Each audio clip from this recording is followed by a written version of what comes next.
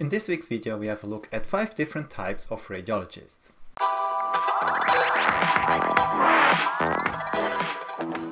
So here's what's gonna happen. I'll show you a case and then I'll show you 5 different kinds of radiologists that are dealing with this case and what they think and what they actually write in their report. So that's the case here. We have a patient with a knee radiograph and you can see we have several findings.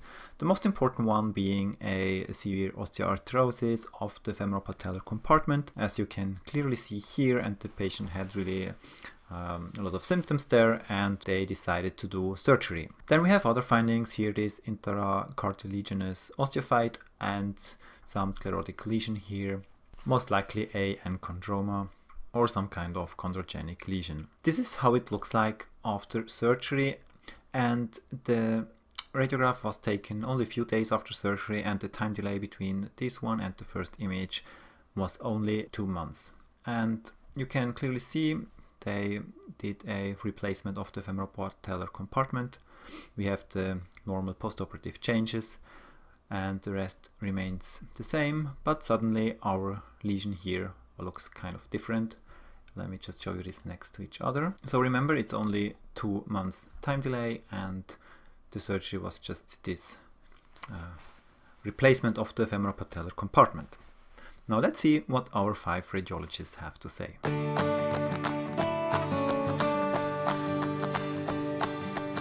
First, postoperative radiograph after femoropatellar joint replacement, period, normal articulation, comma, normal postoperative soft tissue changes, period, iatrogenic fragmentation of the enchondroma during surgery with migration of fragments along the medullary cavity, period.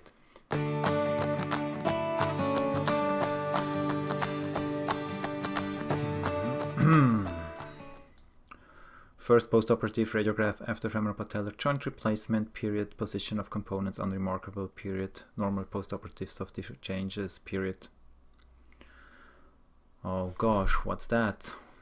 Why has it changed? Hmm, damn it. Alright, let's see. Um, compared to the preoperative image, comma, marked alterations of the previously sclerotic bone lesion in the distal femur period, no clear fracture visible. The sclerotic lesion appears bigger, comma, but has less sclerosis in general, period.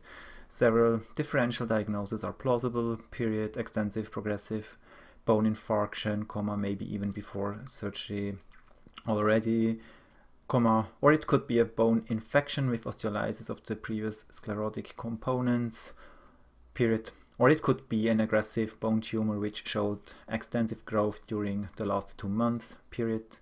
In addition, uh, comma, I cannot exclude an iatrogenic component by the surgeon. A biopsy, question mark. It looks like it is the same leg of the same patient, comma, at least I can rule out that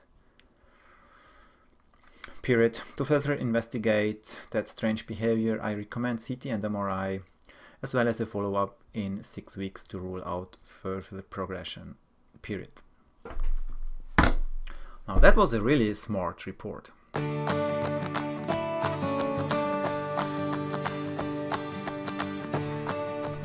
First postoperative radiograph after femoropatellar joint replacement period, normal articulations, comma normal postoperative soft tissue change soft tissue changes period. Fragmentation of the sclerotic lesion in the distal femur with migration of fragments along the medullary cavity period most likely during surgery. Let me have a look whether we have the surgical report. Oh it's not written yet. Damn it. Hmm what could that be? So most likely it's just two months. So the surgeon probably did something during surgery, but normally with this kind of surgery, why should he go up there? That's strange. Let's have a look in the literature whether this is written somewhere as a complication of anything.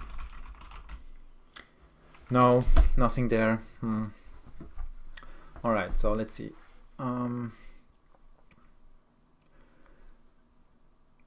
most likely iatrogenic during surgery. Period, comparison with surgical notes recommended, period.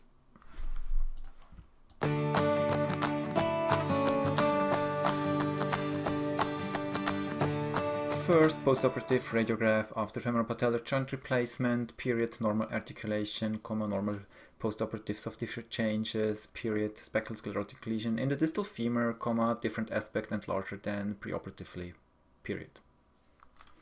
That was an easy case.